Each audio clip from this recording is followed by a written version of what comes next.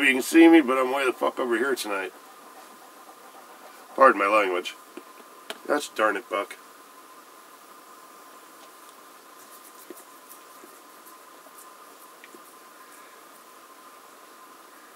The older I get, the uh, I think uh, the less the less I curse.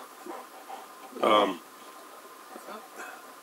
it's kind of like I come to the uh, I come to the conclusion that words actually do mean something, especially when they're spoken in haste and in anger and stuff like that. That there's actually a uh,